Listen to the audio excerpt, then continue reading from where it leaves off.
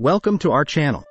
Today's discussion about Master Your Mind, unleashing the power within to embrace the present. Today, we'll explore practical techniques to help you stop overthinking and start living. Overthinking is a common obstacle that prevents us from fully experiencing life's joys and pursuing our goals.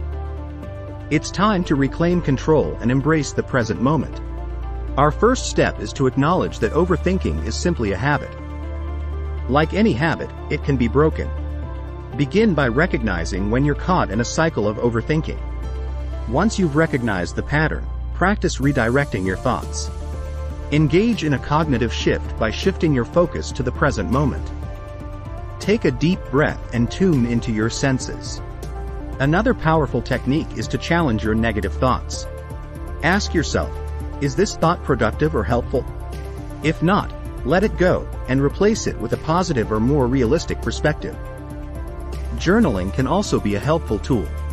Write down your thoughts and worries, allowing them to leave your mind and exist on paper. This practice can create distance between you and your thoughts, enabling you to gain clarity. Cultivating mindfulness is crucial in overcoming overthinking. Practice being fully present in each moment.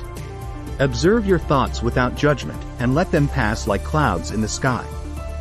It's important to remind yourself that you are not your thoughts. You have the power to choose which thoughts to engage with and which ones to let go. Remember, overthinking steals precious moments from your life. Embrace the beauty of the present moment and free yourself from the chains of overthinking. Thanks for watching. If you found this video helpful, be sure to subscribe to our channel for more valuable content on mastering your mind and living a fulfilling life.